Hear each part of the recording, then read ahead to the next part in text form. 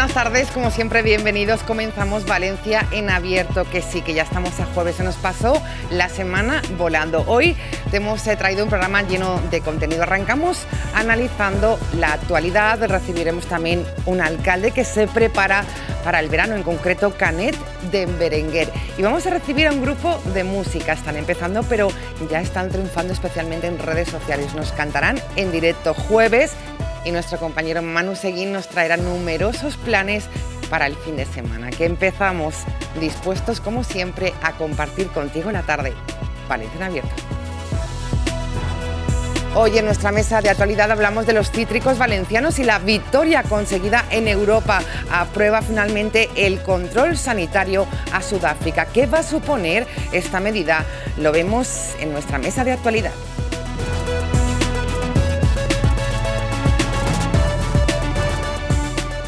Canet de Berenguer se prepara ya para el verano de 2022 y la vuelta de la normalidad a las vacaciones.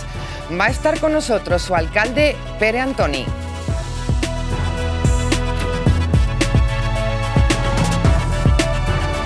Y hablaremos de esta empresa, Octopus Energy. Es una empresa de energía sostenible que se encuentra en pleno proceso de expansión desde la ciudad de Valencia. Va a estar con nosotros su CEO, Roberto Giner.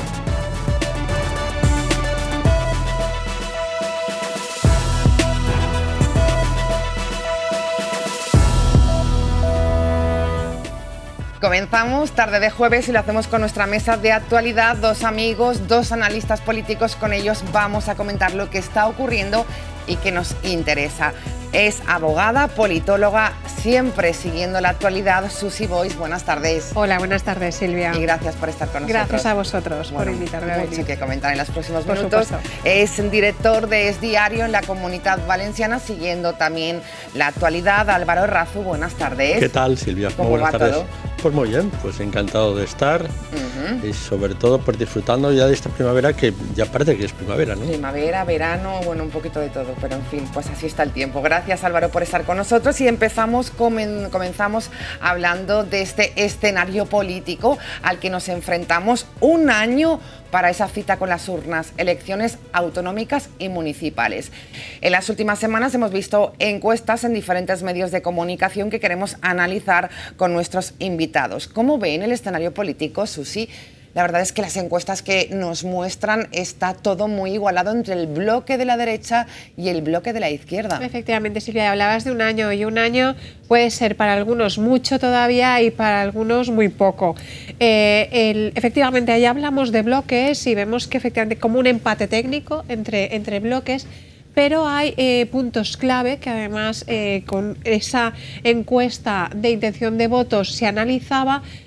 por una parte, el votante todavía indeciso, es decir, estamos hablando a un año vista, hay un incremento muy grande de esa parte. ¿A dónde va a ir ese, ese votante indeciso? Va a ir mucho a abstención, va a ir mucho a nuevas formaciones que también están eh, surgiendo también en, la parte, eh, dijéramos, más nacionalista, valencianista o regionalista, que están surgiendo ahora diferentes partidos. Eh, o hacia dónde van a ir. ¿no? Creo que, el tema de, la, de esa intención de voto del indeciso es clave, porque al final puede decantar la balanza hacia, hacia un lado o hacia otro de, de los bloques. Pero también juegan un papel súper importante para mí ciudadanos que todavía lo sitúan por encima de la barrera del 5%. Que, sacaría representación en el score. Pero estamos hablando, Es, claro, ahí voy, estamos hablando en este momento, pero dentro de un año sabemos si formarán llegarán a poder formar una candidatura, llegarán a poder tener estructura para adelantarse, si en caso de hacerlo llegarán efectivamente a esa barrera del 5% que podría decantar ese ¿Y dónde Se irá el voto de Ciudadanos? ¿Tienes ahí las dudas? Yo tengo ahí la duda precisamente porque esa parte de votante igual te puede ir al Partido Popular que te puede ir al Partido Socialista. Más sumarle los indecisos, creo que todavía es muy pronto como para adelantarnos en qué escenario nos podemos encontrar en un ah, año. Es cierto, y además en un año pueden pasar tantas cosas que equilibre esa balanza, pero así a priori, Álvaro, empate técnico entre las, eh, la derecha y la izquierda. Vamos a ver, yo creo que hay dos elementos a analizar. Más allá de que ya adelante, que nosotros este fin de semana es diario publicar una encuesta. ¿Nos puedes adelantar algo, Álvaro? Puedo adelantar que la encuesta es de Alicante, que la encuesta es de Castellón, que la encuesta valora a los líderes políticos y a aquellos que tienen aspiración de ser el candidato a alguna alcaldía. Y la autonómica, bueno, pues yo creo que es muy curiosa. Pero decía Susi, eh, por, por anteriores encuestas, el tema de Ciudadanos. Bueno, vamos a ver, el tema de Ciudadanos eh, parece difícil que tenga representación parlamentaria, según decía algún estudio, mm. que seguro está bien hecho, que tenga representación en las Cortes y que no tenga en el Ayuntamiento de Valencia, por ejemplo. Vamos a ver, eso... Bueno, ha pasado, ha ocurrido. Eso me lo Con Podemos pasó. Me, lo, me lo tienen que explicar, lo del 5% en una formación como ciudadanos, donde evidentemente no tiene una gran representación municipal. Pero al margen de eso, tenemos dos elementos ya, dos elecciones recientes y una tercera. Madrid, Castilla y León y ahora viene Andalucía. ¿Qué está pasando? ¿Hay diferencias? ¿La tendencia cuál es? ¿No nos está indicando muchas cosas? ¿O pues queremos cerrar los ojos? ¿Cerramos los ojos? ¿O, ¿O ya estamos viendo lo que está pasando? Y lo que dice en esas encuestas ahora de Andalucía, lo digo porque son las elecciones a un mes vista, no a un año vista. Hay una tendencia. Y ante eso, el que no quiere analizarlo es porque no quiere o porque evidentemente tiene deseos de que no sea así. La tendencia es que hay una subida del Partido Popular y de Vox especialmente, Álvaro. Lo que tengo claro es que los gobiernos autonómicos, por regla general, los ciudadanos los valoran bien, ¿vale? No hay una revolución respecto a los gobiernos autonómicos. Todavía mejor valoran los gobiernos municipales. Aquellos, aquellas alcaldías que han conseguido mayoría absoluta generalmente están muy bien valorados. Incluso diría yo que podrían sacar hasta más concejales. ¿vale? ¿Qué distorsiones? Lo decía Susi. El tema de Ciudadanos, pero yo añado el tema de Podemos. ¿Qué va a pasar con Podemos? ¿Va a ir con va a ir con compromiso, va a ir solo. Si va solo, puede sacar el 5% que exige las Cortes Valencianas. Estamos hablando de un porcentaje muy importante, el 5% es difícil, es complejo. La, tendencia de Podemos lo estamos viendo a nivel nacional y por lo tanto también se viene reflejado en Comunidad Valenciana, es a la baja, es un goteo constante a la baja pero es que falta un año. Falta un año, está claro. Y lo que sí que hay una tendencia, Susi, es a la subida del Partido Popular, según los datos que nos daba el CIS. Sí, por supuesto. Y la, tendencia, como decía muy bien Álvaro, la tendencia de las anteriores elecciones, las madrileñas, las de Castilla y León, y las, lo que apunta Andalucía también es una tendencia al alza del Partido Popular y de Vox. Unidas Podemos también, no hay que perder de vista un detalle, que el año que viene no solo tenemos autonómicas, sino que también tenemos elecciones generales, con lo cual cualquier movimiento yo creo que empezaremos a verlo a la vuelta del verano. Me refiero a movimientos Yolanda Díaz. Yolanda Díaz, ¿qué va a hacer? Es decir, va a formar parte de Unidas Podemos, va a ser la, eh, la cabeza de cartel de Unidas Podemos, va a realizar una coalición porque claro, yo creo que eso es sumamente importante y si a eso autonómicamente le sumamos la posibilidad de que Mónica Oltra no lidere el compromiso, claro que decir que hay unos escenarios que pueden cambiar cambiando las figuras, o sea, cambiando los liderazgos, podemos encontrarnos con un panorama o, un, panorama totalmente, diferente. Lo que está claro es que hay una tendencia de subida del Partido Popular, como decíamos, eh, según el CIS, y una figura que ha reforzado la marca, la de Feijó. Así hablaba y así se expresaba en torno a las elecciones. Queda un año y una semana para unas elecciones municipales que nos tienen que salir mejor de las que nos salieron en el año 2019. Yo estoy convencido de que lo vamos a lograr y también estoy convencido que no tenemos ni un minuto que perder en las renovaciones del partido que estaban en marcha y en las renovaciones del partido para mejorar nuestros candidatos, nuestras candidatas y reafirmar a aquellos que tienen posibilidades de ganar. Amigos, quiero un partido ganador, unido y comprometido. Este es un proyecto que genere confianza a los ciudadanos. ¿Genera confianza? Bueno, vamos a ver. lo que dice es una frase a mí me parece muy llamativa. Eh, mejorar los resultados anteriores, que fueron catastróficos. es que fueron muy malos. mal vamos, ¿no?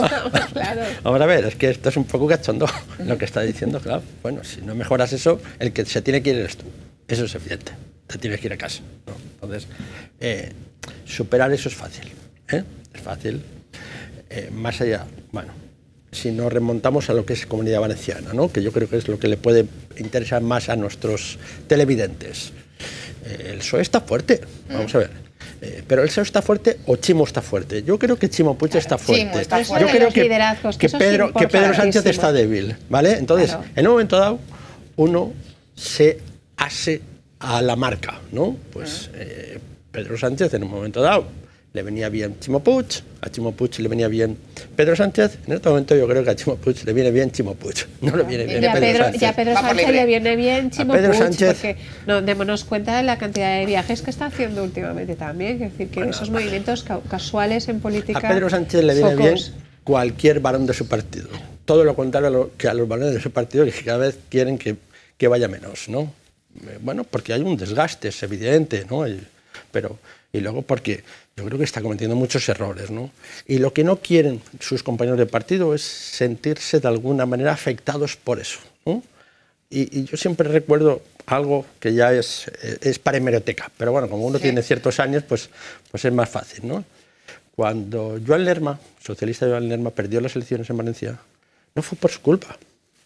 En realidad, la gente lo valoraba bien, las encuestas lo valoraban bien, decían que la gestión era correcta. Vale, contexto nacional. Exacto. Totalmente. Eso es, eso es, Silvia. Y esto, nacional. esto pasa en política Y y, podemos esto te asistir puede pasar. Sí. también. Pero Álvaro decía hay que acercarlo más a la comunidad valenciana, pero ahora en este momento Feijóo sí que puede ser clave Claro. para Carlos Mazón. Yo creo que puede ser un impulso, si bien es verdad que siempre hemos dicho Carlos Mazón eh, pertenecía un poco ¿no? a la cuerda de Pablo Casado y um, Teodoro García Egea, tal, yo creo que este cambio nacional, este cambio de liderazgo en la propia marca, que va renovando esa marca con poco a poco y con estos mensajes que va lanzando, aparte de lo del 2019, que era obvio, eh, sí que es verdad que está ilusionando sobre todo a las bases del partido. Por tanto, yo creo que en el tiempo que le queda a Carlos Mazón para consolidar su estructura y su liderazgo, la imagen de Feijóo yo creo que le puede, Le puede beneficiar. beneficiar. Veremos qué pasa. Este es el escenario político que hemos querido dar una pincelada con nuestros dos invitados. Ah, Nos vamos al Congreso, hablamos de Pedro Sánchez, el presidente ha comparecido, ha anunciado eh, la aprobación de una nueva ley de control judicial del Centro Nacional de Inteligencia. Lo ha hecho en su comparecencia para informar sobre el caso Pegasus. No ha convencido con sus palabras a la oposición. Señorías, dos iniciativas legislativas que vamos a emprender para modernizar el marco regulatorio de los servicios de inteligencia de nuestro país. En primer lugar, el Gobierno va a aprobar una nueva ley de información clasificada, también denominada de secretos oficiales, que va a sustituir a la vigente que está aprobada, señorías, en el año 1968, es decir, durante la dictadura. Y en segundo lugar, les anuncio también, señorías, que el Gobierno reformará la Ley Orgánica Reguladora del Control Judicial del CNI en la línea de las recomendaciones del Defensor del Pueblo. Se trata de reforzar las garantías de ese control, además de asegurar el máximo respeto a los derechos individuales y políticos de las personas. Ese anuncio que él realiza en su comparecencia para explicar el caso Pegasus, Álvaro. Vale, en tu entrada ya decías que no convenció a la oposición. No. Vale, no convenció a sus socios. Ni a la oposición ni a sus socios. Que es más grave todavía. Si hoy comparece, si hoy ha comparecido, no ha sido porque él quería comparecer, sino porque sus socios, es Esquerra Republicana, Bildu, pues lo exigieron. Y aunque el Partido Socialista juega y hace bien de hacer ese juego, el Partido Popular es que apoyó, no, el Partido Popular lo que ha apoyado es que comparezcas. ¿Y qué nos ha venido a decir? Pues eh, nos ha venido a decir lo que dice muchas veces, pero en sede parlamentaria es más complejo. Una cosa y lo contrario. Que eso es muy difícil. Es que eso es muy difícil. La verdad es que él tiene un arte. ¿eh? ¿Eh? Tiene el arte de, de, en un momento dado, pues él dice, ¿qué pasa con el CNI? Pues no sé nada. Oigan, pero a mí el CNI, eso, eso, eso no, va, va conmigo. Pero ¿cómo no va con usted? Pero si usted es el máximo responsable como presidente del gobierno, ¿no? Sí, pero bueno, yo... Vamos a ver, es que esto no... A mí, la verdad es que no me parece serio. Y por eso es verdad que sus socios pues estaban muy enfadados, porque ellos lo que quieren es la cabeza de la ministra. Porque nos han, nos han contentado, como todos sabíamos, con la directora del CNI. No se puede contentar. Y luego él mezcla dos cosas. Lo que es Pegasus, Con la aprobación de dos nuevas leyes, que está muy bien. con la aprobación de dos leyes, con lo que hizo el CNI y con sus datos de su teléfono que se lo roban. Hace toda una mezcla, ¿vale? Y de esa mezcla hace responsable al CNI. vamos a ver, su móvil no se lo protege el CNI, se lo protege, un organismo que depende de presidencia. ¿Quién le ha robado los datos? Porque es lo que tendría que explicar. Oiga, pues ha sido el gobierno de Marruecos, los servicios secretos de, de Israel, no sé qué. ¿Qué llevabas en el móvil? ¿Qué es lo que han podido eh, sacar de ese móvil que de alguna manera a lo mejor... Nos afecta a todos. Nos afecta, le pueden chantajear de alguna manera, todo eso. Lo que cabía explicar, pero aquí no se puede explicar, es evidente, ¿no? Es como se dice. Va a ser más, más transparente la Comisión de Servicios Secretos. Sí, son servicios secretos, son servicios secretos, hombre, pero bueno, ¿qué, pero, pero ¿qué, estamos diciendo? ¿Pero qué estamos diciendo? Claro, cuando, cuando comparece la, la directora del CNI en esa comisión, que a los dos minutos eh, los diputados la soplaban los periodistas, la directora ya lo sabe. La directora lo sabe y cuenta lo que ha querido contar. Y lo único que contó dijo, sí, es verdad, a este señor lo hemos investigado, al presidente catalán, sí, lo hemos investigado. Orden judicial. 18 personas, orden judicial. ¿Le hemos hecho correctamente? Sí, según las leyes sí. ¿Por qué quiere cambiar ahora el presidente si se ha hecho bien? Si se hubiera hecho mal, yo qué sé. Bueno, un caso había, había un, debate nacional sobre eso. Es que lamentablemente estamos legislando a golpe de presión. Antes legislábamos en pandemia a golpe de decretos y ahora, pues bueno, me presionan, cambio las reglas del juego. Mm, Pero ¿y por qué cambiamos la legislación? La pregunta es esa, ¿por qué la cambiamos? Vamos a ver, ahí es donde yo quiero llegar eh, tenemos una legislación eh, que efectivamente tiene que actualizarse, tiene que modernizarse y tiene que estar adecuada a las circunstancias del momento, entre otras la Constitución, la propia Constitución. Sabéis que desde Juristes Valencianos, del que formo parte, eh, estamos insistiendo en que mm, se nos devuelva a los valencianos nuestros derechos. Eso es así siempre y siempre entendemos que, la, Carta Magna es la que tiene que regir la sociedad y actualizarse y modernizarse, como el resto de democracias pero eso dista mucho de lo que estamos viendo. Es decir, lo que no podemos hacer es, como no nos gusta la situación actual, no, no, no, como le están presionando porque no nos gusta ahora, cambiamos las reglas de juego. Dice, la ley es del 63, creo que es, 67, creo que ha dicho, y durante este tiempo, ¿qué ha hecho el legislativo? Si había que actualizar esas leyes, ¿por qué no se han actualizado? ¿Por qué eh, cuando habla de la judicatura, cuando dice hay que cambiar el control judicial, porque las, las autorizaciones para las escuchas las elige actualmente un juez. Desde hace tiempo muchas veces estamos diciendo es que debería ser con un magistrado, al menos de tres jueces, ¿vale? Pero ¿por qué ahora? Es decir, al final nos damos cuenta que los poderes, eh, entre la intromisión que muchas veces estamos viendo y que luego hay poderes que no están cumpliendo con sus funciones, pues verdaderamente es que hacen un flaco favor a la, a la democracia y a la sociedad en general, porque la sociedad en general, ¿qué ha visto hoy? Que como el gobierno se ha visto presionado por, unas minorías, que al fin y al cabo son unas minorías, están modificando las normas a gusto de estas minorías. Quiero decir, al final, el mensaje que hoy se ha trasladado a la ciudadanía, lo quieran pintar como quieran pintarlo, es ese, de una irresponsabilidad total. Eso es cierto, la minoría presiona y consigue que, bueno, pues se legisle de esta manera. Álvaro, veremos qué pasa. Pero yo sigo sin entender, vamos a ver, ¿por qué se cambia? Es decir, ¿qué necesidad hay en los cambios? ¿Se ha incumplido algo? Creo que no se ha incumplido nada. De, los dos procesos de cambio que plantea el presidente, uno de ellos es verdad que ya estaba en las Cortes, pero ha sido el propio PSOE el que lo tenía paralizado. Es decir, y ahora lo tienes paralizado y ahora lo vas a levantar. Lo otro utiliza un ardit, un ardit, en el sentido de decir que esta ley era de la época de Franco. oiga, y, ¿Y, qué pasa? Mm. y, pero yo lo quiero cambiar por este motivo. y lo quiero cambiar únicamente por, un motivo, para intentar contentar a Esquerra Republicana, lógicamente, a Bildu, pero además en el debate, que ha sido un debate largo, farragoso, ha salido Esquerra Republicana y de hecho, pues mira, no nos conformamos. no, ha servido para nada.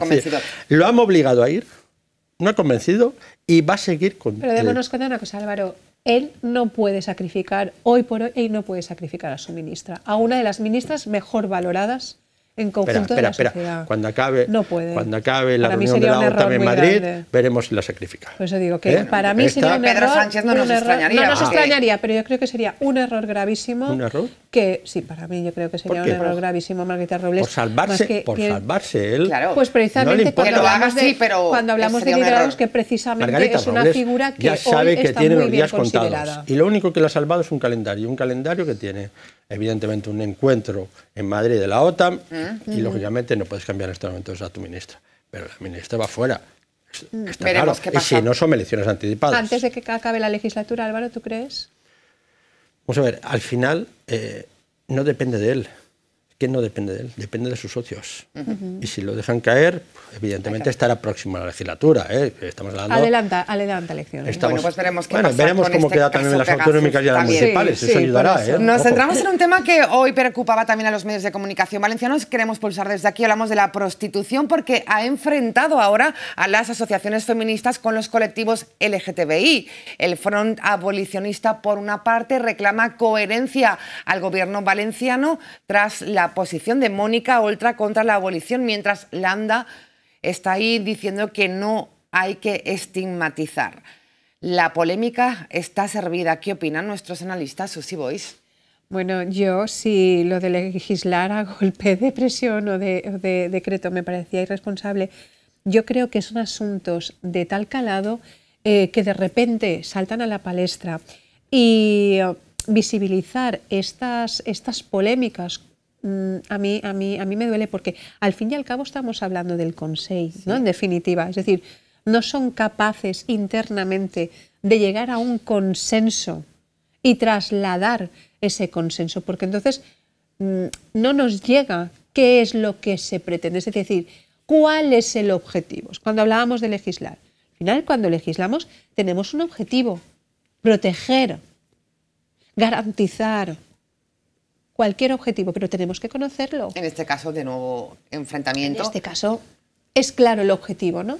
Es proteger esa trata de seres humanos, es proteger el, el bien más preciado que tenemos el ser humano, que es nuestro propio cuerpo, ¿no? Eh, vale, si tenemos claro cuál es el objetivo, ¿de verdad no son capaces de llegar a un consenso? Yo es lo que entiendo, si entre gobierno no llegas a un consenso, ¿cómo vas a plantearlo delante de un pleno para convencer a la oposición?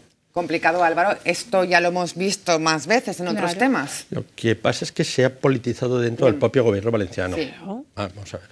Aquí está la consellera de Justicia y con el Partido Socialista, que defienden la aboli- abolición perdón, de la prostitución. Prostitución. Y está eh, la vicepresidenta Mónica Oltra, que mantiene que es poco lo que plantea un sector del gobierno. Donde se lía todavía más la madeja. Cuando la vicepresidenta utiliza su puesto, su sillón de portavoz del Consejo y el viernes ataca a una compañera de gobierno, ¿no? que es la señora Bravo. ¿no? Pero la ataca sin citarla, pero era todo muy evidente, no hay que mirar los medios de comunicación, donde evidentemente pues, eh, le pasa factura por unas declaraciones que había dicho, entre otros motivos, la señora Bravo, respecto de los problemas judiciales que tiene la señora Oltra, donde le invitaba pues, a apartarse por el tema que le afecta a su ex marido y por la decisión que tiene que tomar el Tribunal Superior de Justicia respecto a si la Consejería de Oltra defendió o protegió suficiente a la niña abusada, ¿no? abusada por su ex. ¿vale? Eh, estamos mezclando tantas cosas, Claro, ¿no? tantas cosas. Vamos a ver. Evidentemente, yo creo que el tema de la prostitución es un tema para tratarlo muy serio. ¿eh? Y son asuntos que no es de un gobierno. Son asuntos que hay que intentar pactar, al menos con el principal partido de la oposición. No podemos legislar para que haya un cambio de gobierno y luego hay- haya un cambio de leyes. Eh, son asuntos de Estado. Yo lo marco dentro de un asunto de Estado este. Bueno, pues yo creo que se ha politizado, pero, la eh, clave el está ahí. problema, el problema es que además en el gobierno pasa lo mismo, en el gobierno central también hay diferentes sensibilidades. Sobre ¿eh? este tema. Eh, y, al final me da la impresión de lo que se busca son votos. Y es lo que me preocupa de esto. Es decir, de que el colectivo Landa está contigo o está contra mí o le parece poco. Oiga, mire, que esto es suficientemente serio, serio ¿eh? para no estar politizándolo, para intentar buscar soluciones y las afectadas fundamentalmente son aquellas que se dedican a la prostitución, que es que es donde parece que nos olvidamos de todo. ¿eh? Totalmente. Bueno, pues creo que ha quedado clara la postura sobre este tema, que hoy también saltaba a los medios de comunicación. Ayer eh, leíamos también esa victoria para los cítricos valencianos. Europa aprueba el control sanitario a Sudáfrica. ¿Qué supone esto? El presidente de la Generalitat, Chimo Puig, así lo explicaba. Nosaltres estem absolutament per la reciprocitat i no poden entrar a Europa productes que en Europa no se poden produir. I en aquest sentit crec que és un avanç substancial. Hem començat trencant una barrera que durant molts d'anys havien produït els importadors del centre d'Europa i ara estem en condicions de continuar avançant. Això no és la fi, perquè encara hi ha altres productes que no estan sotmesos a aquests tractaments i que, per tant, encara estan produint l'ingrés de plagues a Europa. Declaraciones, por cierto, que realizaba en su viaje a Portugal, que está el presidente. Uh -huh. Sí. Si tenemos claro eh, lo que acaba de decir, perfecto. Es decir, esto mmm, es empezar a andar. Es decir, hay mucho camino todavía por recorrer. Eh, nos hemos dejado mm, productos por el camino. Además, lo hablaba también Cristóbal Aguado, presidente de ABA. Hemos dejado la mandarina, nos hemos dejado el pomelo. Luego parece ser que tampoco se ha reconocido las total, total indicaciones que daban los técnicos en cuanto a los grados, en cuanto a los tiempos. Es decir, bueno, eh, para mí lo más importante es no conformarnos. Es decir, lo hemos eh, plasmado como una victoria eh, asombrosa y tal. Y a mí eso me preocupa mmm, porque puede dar la sensación de que ya está todo conseguido. Bueno, yo creo que las palabras del presidente hay que tomárselas eh, a cuenta y recordarle que si esto es el principio no se puede dejar. Valencia tiene un problema, Valencia no tiene un lobby, no tiene un grupo de presión en Bruselas, que es donde lo tiene que tener, para que al menos no estamos hablando de un beneficio, que ya sería pues el hecho de pertenecer a la Unión Europea, sino el hecho de que cuando se compita en la, dentro de la competencia de la Unión Europea que se compita en igualdad de condiciones. Uh -huh. Al final es lo único que se, está, que se está pidiendo. Es decir, ya no se está diciendo benefíciame por ser miembro de, que eso ya, ya vendría en su momento. Diga, pues consumo de proximidad, podríamos empezar por ahí. Lo que está diciendo es, ah, usted lo que no puede permitir Europa es dar la posibilidad de que otros productos provenientes de terceros países no cumplan con los requisitos fitosanitarios, no cumplan con los requisitos laborales, no nos equivoquemos, es decir, hay una serie de requisitos que a nosotros se nos exige que a terceros países no, se exige. Y está yo creo que queda mucho. realmente. Álvaro, tu valoración al respecto de esta noticia. De, de, lo que plantea Susi, yo creo que la clave está en que no nos hemos tomado en serio realmente la importancia que tiene Europa. Se legisla empezando por las organizaciones agrarias. Me parece tremendo que no tengan representantes allí, lobby allí, porque al final, a mí, esto de echar la culpa siempre al gobierno, pues, ¿qué quieres que te diga? Eh, pero el Banco Santander, por poner un ejemplo, tiene ahí unos señores que trabajan allí en Bruselas, que están todo el día mirando si la legislación les afecta o no les afecta. Y aquí nos estamos jugando nuestro futuro. Y las organizaciones agrarias valencianas deberían de tomárselo mucho más en serio e invertir parte de las subvenciones que les llega, pues a tener personal cualificado allí. Porque si hubieran tenido eso en el acuerdo, en el acuerdo, porque eh, en realidad lo que se está discutiendo ahora es una cosa muy sencilla, era aplazar una decisión respecto si las naranjas que vienen fundamentalmente de Sudáfrica vienen en frío, ¿vale? Para evitar también la polilla, bien. Es lo que estamos hablando de eso. Si hubiéramos tenido un lobby normal, a la hora de redactarlo, se hubiera contemplado este punto, se claro. Hubiera hablado de la cítricos. falsa polilla. Se hubiera, la polilla se hubiera no hablado de cítricos. De cítricos. Claro. Por lo tanto, estaba el pomelo, la mandarina y estaba el limón. ¿vale? No, no hubiera, se hubiera hablado solo de naranjas. Eso es punto número uno. El, lío viene cuando el Consejo de Europa paraliza una decisión que ya tenía prevista tomar. Mm. No, no, no, no. Si es que esto dicen, oye, que no lo vemos muy claro. No lo vemos muy claro porque presiona Holanda y presiona Alemania y, y, claro, la pregunta es, ¿y esto es qué le va en la película? Pues, pues mucho, porque ah. ellos no producen, ellos compran. Les viene mucho, primero, porque evidentemente, si tú les pones a las naranjas que vienen de Sudáfrica las mismas condiciones que a la naranja valenciana, esa naranja ya no es tan barata en el mercado, ya no tiene esa competencia con la valenciana a nivel de precio, lógicamente por el transporte y por las condiciones fisosanitarias y las normativas, pues aunque sí el, allí el trabajo más barato, ¿vale? Eh, Pero la naranja cuando llega aquí es de peor calidad, porque lo sabemos, Sí, ¿eh? es de buena calidad, hay que negarlo, pero es de peor calidad que la valenciana y ya el precio ya no es tan competitivo. Entonces, claro, aunque ellos intenten traer en la época que ya no producimos nosotros naranja, que es a partir, ellos generalmente, pues es a partir de abril, junio, julio, cuando se abre el- la frontera para ese tipo de naranjas, claro, todavía queda naranja valenciana. Entonces, Bueno, pues evidentemente- éxito por la eh, noticia, evidentemente, pero claro, todavía tenemos mucho, mucho camino, tenemos camino que recorrer. ¿eh? Lo vendemos así. Para finalizar, queríamos también tocar con nuestros invitados una situación que preocupa al sector hostelero. Ahora hay dificultad para las vacantes de empleo justo en la temporada máxima de verano. Vamos a escuchar lo que dice el sector.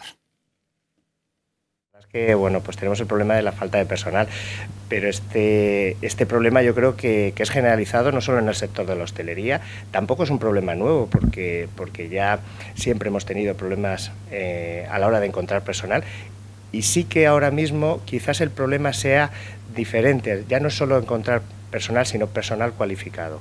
Es cierto que hay empresarios que son muy explotadores en ese sentido y a esos hay que perseguirlos, pero no todos los empresarios de hostelería eh, tratamos así a nuestro personal. Por el otro, también es verdad que mucha gente que ha empezado a trabajar empieza en sitios que no son todos lo honestos con los trabajadores que deberían. Entonces, gente que podría tener potencial para esta profesión acaban quemándose eh, a base de contratos, de jornada partida, haciendo muchísimas horas de más, cobrando mucho menos de lo que deberían. Y no hay esa gente que a lo mejor hace 30 años sí que pensaba dedicarse toda su vida a la hostelería, ya sea al servicio en sala, en la cocina. Ahora ya no encontramos, yo creo que ese perfil es el más escaso. Esta es la realidad, Susi. Bueno, yo creo que hay muchas circunstancias, pero para mí la clave está en personal cualificado, Eso que es. lo ha dicho la, la primera persona en la que habéis entrevistado. ¿Por qué? Porque cuando hablamos de eh, número de personas que nos en- se encuentran en estos momentos en situación de desempleo y se equipara y se dice, ¿cómo puede ser que con tantas personas que hayan en, en Claro, este momento situación desempleo se haya esta situación? Claro, porque no hay personal cualificado. Es decir, lo que no podemos ya seguir eh, apostando porque si tenemos eh, 100.000 eh, desempleados, esos 100.000 sean aptos para cualquier puesto de trabajo. Eso yo creo que ahí la cualificación es fundamental. Eh, no me vale las declaraciones de la ministra cuando dice que se pague más. Vamos a ver. Para eso está la inspección de trabajo. Hay un convenio de la hostelería que debe cumplirse, ya que el empresario o empresaria que no lo cumpla, evidentemente, está la inspección de trabajo para actuar en consecuencia, tanto en salarios, tanto en estas jornadas partidas, tanto en esos excesos que efectivamente los hay y han de ser perseguidos, pero yo insisto, porque además es obligación de la Administración, la cualificación. Cualificación. Es decir, los las personas que tenemos en situación de desempleo deben estar en búsqueda activa de trabajo y eso muchas veces implica la La formación. formación de, de- es, cierto. Álvaro, entramos en la recta final, nos quedan dos minutos. Pues eh, yo creo que eso es así, pero hay una parte que no vamos a negar. ¿Cuál? La temporalidad. Vamos a ver. Si yo voy a trabajar en un restaurante cuatro meses, pues, y tengo opciones en otro trabajo que me permite trabajar 12 meses, pues lo pienso. Aparte, todos sabemos que el trabajo en hostelería es un trabajo muy esclavo. Son muchas horas, es verdad, durante tres, cuatro meses, muchas horas, pero a lo mejor me renta otro tipo de trabajo. Entonces, claro, eso hay que tenerlo muy en cuenta. Pero temporalidad en Valencia, cuidado que Podría ser, en pues, Valencia prácticamente podría. Sí que es verdad que una zona de invierno, que es la zona más de interior o, o las ciudades, luego tienes la zona de verano de la, la costa. necesidad ahora de esos trabajadores, de fundamentalmente es la zona de playa, fundamentalmente, ¿no? donde tienen un golpe de demanda muy importante. Pero en Entonces, el interior tienes un descenso. Quiere decir que Sí, si pero- cualificamos ese personal, ese personal puede Pero fluctuar. El, el- el personal podría fluctuar, pero al final dices, ¿me es rentable con lo que gano el tenerme, por ejemplo, que buscar una casa en Ibiza que tiene un, sala- eh, un precio desorbitado, ¿no? Eh, evidentemente, allí hay poca oferta, ¿no? Claro. Si encuentro una casa, las condiciones son compartir con alguien, ¿no? no todo, todo eso es bastante más complejo. es La decir, temporalidad, a, mí, a mí me encanta cuando la ministra habla y, habla con esa naturalidad como si todo fuera tan sencillo, subirle el sueldo y ya hemos hablado. Bueno, pues nos daría para otro programa esta situación que preocupa al sector de la hostelería que se nos pasó volando. Esta mesa de actualidad, muchos temas, todos analizados por la abogada y politóloga Susi Boix. Gracias por estar con nosotros. Buenas tardes y también por el director Es Diario y la Comunidad Valenciana Álvaro Razú. Todo un lujo tenerte como buenas siempre. Tardes. Gracias, buenas tardes. Cambiamos de tema, nos vamos hasta el oceanográfico. Ahí está nuestro compañero Manu Seguín porque hoy Quique da Costa ha presentado la campaña Tu Agua. ¿Para qué? Para que la restauración valenciana lidere la reducción del uso de plásticos en toda España. El agua del grifo no se puede consumir. Eso es un mito que llevamos escuchando durante mucho tiempo y que hoy, aquí, en el Oceanographic, han querido desmentir, porque sí, porque así nos lo dice también la alta cocina y es que desde hace mucho tiempo es agua que está más que apta para poder beber en todas las comidas, que sí, que a veces el sabor no es exactamente el que nos gustaría, pero bueno, que todo eso tiene solución y es que los nuevos filtros que están incorporando, como es el de tu agua que hoy se presenta aquí, nos ayuda a mejorar esos sabores que a veces, bueno, pues por las calidades del agua no son todo lo agradables que desearíamos. Para hablar de esto y conocer cómo está evolucionando el mundo del agua también en la ciudad, tenemos nosotros a Dionisio García, es el consejero delegado de Global Omnium. Buenas tardes. Hola, buenas tardes, ¿qué tal? ¿Cómo estáis? Bueno, Dionisio, lo decíamos, un mito, el del agua del grifo, que queremos por fin desterrar ya. Sí, yo creo que hay que desterrarlo. Además hay que tener en cuenta que tenemos agua de grandísima calidad en nuestras casas. Es verdad que por las características del, agua que tenemos, que sabemos que es un agua muy dura, eh, al añadir el, cloro que es necesario para mantener la salubridad, el, sabor mm, se ve un poquito afectado. ¿no? Y por supuesto que hay trucos como dejarla en la nevera, refrescar y tal, pero si además hacemos un tratamiento en el punto final, que es en el, en el grifo para el agua que se consume eh, en boca, pues eh, tenemos un agua de magnífica eh, calidad a un precio muy reducido y, lo que es más importante, mm, haciendo un enorme favor al planeta. Y hablamos mucho de sostenibilidad, nos lo decías antes. ¿Cuántas cantidades de botellas de plástico, cuánta cantidad de plástico podemos ahorrarle al medio ambiente normalizando el uso de estos pues Mira, pues, pues, hoy, por ejemplo, estamos hablando del tema de, la restauración. ¿no? hay restaurantes que pueden utilizar del orden de 40.000 eh, botellas eh, al año.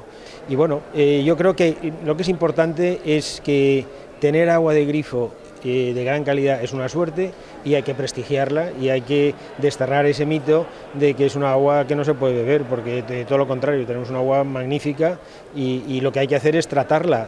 Y tenemos que decirlo, esto también es adelantarnos a lo que nos va a pedir la ley o a lo que ya nos están empezando a pedir desde algunos organismos. Claro, yo creo que, que las leyes además son muy conscientes de lo que de lo que la sociedad eh, reclama. ¿no? Y la, sociedad reclama que seamos cada vez más respetuosos con el medio ambiente. ¿Qué productos son indispensables en la cocina para empezar a construir? El agua, seguramente la sal, el huevo, la harina, ¿no? Sin, sin, agua posiblemente la cocina como tal no existiría y obviamente es importante. Más allá de esto, que por otro lado es una obviedad, pues lo que os he comentado antes, ¿no? Eh, la relación entre lo que consumimos, cómo lo consumimos, cómo llega a nosotros, de dónde proviene y cómo ha llegado hasta nosotros, para mí es fundamental. Podría no dedicarme a esto y pensar que lo mío es solamente la creatividad, porque soy un cocinero de cocina creativa, pero los roles que hemos asumido la gastronomía, los cocineros y las cocineras contemporáneos, tienen que ver mucho con la sostenibilidad. Es un rol que asumimos con naturalidad, porque al final también el medio en el que nos movemos es nuestra, nuestra nuestra despensa es nuestra paleta de color, con ella construimos nuestro discurso y si no tenemos una relación directa y sostenible con el medio ambiente, pues evidentemente eh, estaremos eh, agravándola todavía más y no queremos ser cómplices de esto. ¿Y quién mejor para contarnos las ventajas de este agua filtrada y de este consumo del agua natural que David Carrión, chef del Oceanographic? Buenas tardes. Hola, buenas tardes, bienvenidos. Bueno, David, cuéntanos, hoy una presentación de largo aquí, en tu casa, de este tu agua. Bueno, ¿qué estamos viviendo? Pues la verdad es que esto yo creo que es el inicio de algo que tiene que seguir caminando, eh, en que todos los restaurantes en general y todo el mundo en particular eh, empecemos a concienciarnos con la sostenibilidad del planeta Entonces cuéntanos qué te aporta a ti a la hora de cocinar en tus platos este tu agua, este filtro que enriquece. A ver, lo principal es que eliminamos todos esos, todas esas impurezas y pequeñas partículas que el agua común puede tener, con lo que si haces un caldo, una infusión, eh, cualquier demiglas o cualquier elaboración en el que tú aportes agua, eliminamos toda esa parte que no queremos y solo tenemos lo que realmente queremos, que es un agua pura pues muchas gracias por atendernos. Nosotros nos vemos ya con el plato en la mano y qué mejor que comprobar esta realidad que de primera mano y es probando estos platos y este agua de tu agua que nos llega a las casas. Bueno, pues ya nos contarás, Manu Seguin, tu agua, esa campaña importante que ha presentado Global Omnium. Cambiamos de asunto y ya recibimos en los estudios de Siete Televalencia, se lo habíamos anunciado, pulsamos las playas del municipio Cane de Berenguer. Está ya nuestro alcalde con nosotros, Pere Iván Antoni Chordá. Buenas tardes. Buenas tardes. ¿Qué tal todo por Canet? Muy bien, muy bien. Siempre puede ir mejor, ¿no? Pero muy bien, no nos podemos quejar. Bueno, preparando el inicio de las playas, eh, del inicio del verano, ¿cómo va el asunto, alcalde? Pues muy bien teniendo en cuenta que venimos de una playa de 2020-21 que no sé si recordaréis, pero Carnet la tenía parcelada, con limitación de aforo, con un montón de normas restrictivas qué y duro, demás. Qué dura esa etapa, ¿eh? Muy, muy dura, pero al mismo tiempo nos ha enseñado muchas cosas. Ha sido gratificante porque hemos aprendido, por ejemplo, que esos 10 metros que dejábamos hasta la orilla para el paseo, eso lo vamos a mantener ¿Se va este a mantener? año. Sí, la parcelación no, no porque no hay base jurídica para hacerla, aunque los vecinos me la solicitan, ¿eh? me la siguen pidiendo. ¿Este año vais a parcelar? Pues no, aquello que parecía tan friki, ¿no? En mi principio resultó ser una playa, como yo digo, business y la gente se acostumbró y le gustó mucho. Lo único que vamos a heredar son esos 10 metros. 10 metros, es decir, que esa medida llega para quedarse Esa porque para quedarse. descubrimos, es cierto, ¿no? que era ideal para poder dar esos paseos y que nadie te molestara. Efectivamente. ¿Cómo no lo habíamos pensado antes? Pues mira, no lo pensabas antes porque si no estaban esas estacas, lo que Claro, sucedía es que ponías la toalla, cuando creías que ya se había terminado la playa, venía otra persona y decía, aún cabemos, y aún cabemos, y la gente apuraba al máximo para tener esa, esa brisa ¿no? de Bueno, la orillita pues del mar. Una novedad importante para este año. ¿Alguna más, alcalde? ¿Cómo se presenta Uf, la campaña? más. Cuéntanos. Dentro de esa nueva normalidad, por decirlo de alguna manera, pues Canetes es una playa muy turística, muy familiar y nuestro emblema, ¿no? y nuestra distinción es que la experiencia tiene que ser completa. Somos como un pequeño resort, ¿no? Tenemos esa playa, pero a lo largo del día tenemos un montón de actividades que complementan esa experiencia. Desde actividades deportivas por la mañana, marcha nórdica, aquaróbica, aquagym, yoga, un montón de, de actividades deportivas. Después por la tarde culturales, teatro, cine en la arena. Los martes tenemos cine en la arena familiar, que es brutal. Lo aconsejo, aunque no estéis en Canet residiendo, podéis acercaros. Y, como no, ese abanico, que son más de 15 actividades deportivas, más de 100 clases, 100 clases semanales, lo que le ofrece es una experiencia única a todos nuestros visitantes y muy complementaria y muy, muy solicitada. ¿Qué diferencia habrá con respecto a otros años? Pues que ya no habrá que hacer la reserva, ya no tendremos esa limitación de aforo y no estaremos tan encorsetados y espero que todos las disfruten de la mejor manera posible. Bueno, preparadas ya esas playas porque hay que prepararlas, lógicamente. En ello estamos ¿Qué se trabajando. hace? ¿Qué se hace para preparar la playa, alcalde? Pues mire, lo primero que hacemos, lo primero que hacemos es intentar actuar con la mayor celeridad posible dentro de, ese- de esas restricciones ¿no? que nos marca también costas, porque Claro. hemos de ser conscientes que la playa no es nuestra, sino que hay un ente superior que es el que lo gestiona. Y ahora mismo nosotros en la, en la parte norte de la playa sí que hay que hacer ciertas actuaciones que Costas nos dirá cómo hacerlas o si la van a hacer ellos, pero nosotros lo que hacemos es maquillarla, intentar cribar toda la arena, limpiarla para que cuando vengáis a disfrutarla tenga esa, esa visión ¿no? o esa Tan bonita, sensación ¿no? tan bonita. Bueno, pues hay que prepararlas, está en ello. ¿Se llegará a tiempo cuándo es la sí, fecha? Sí, Nosotros abriremos el 20 de junio. ¿vale?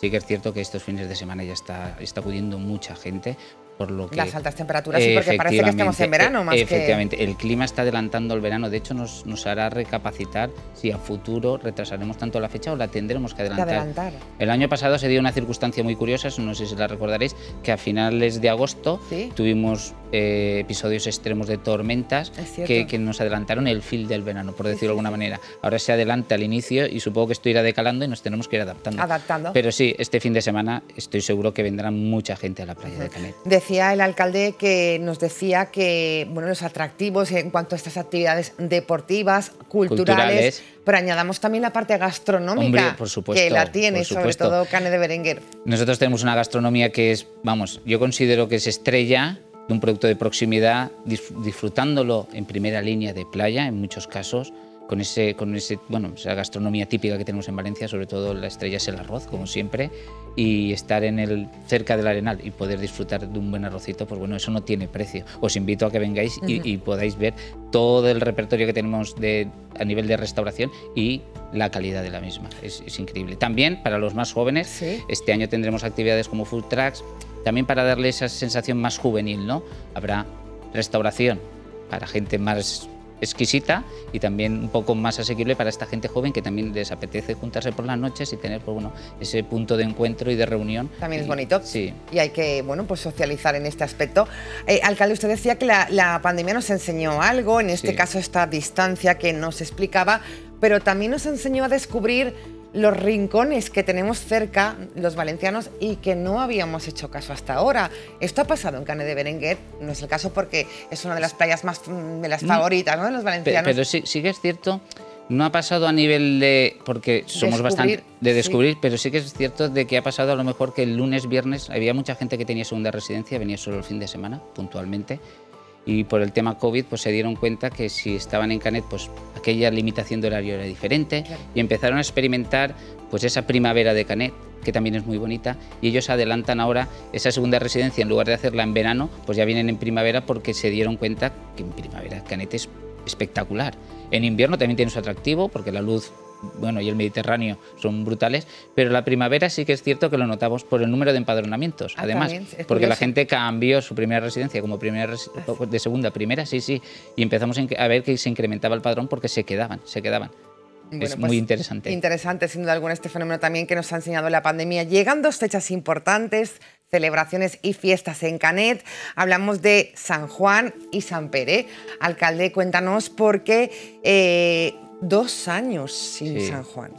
Dos años sin San Juan y dos años sin San, Pere. Y San Pere, Vale, porque coincide. San Pere es en 29, San Juan la noche de San Juan. Pero bueno, retomaremos ¿no? lo que nos dejamos en, el 20 y en el 21, que fueron sacrificados por necesidades, por contexto, por contexto sanitario.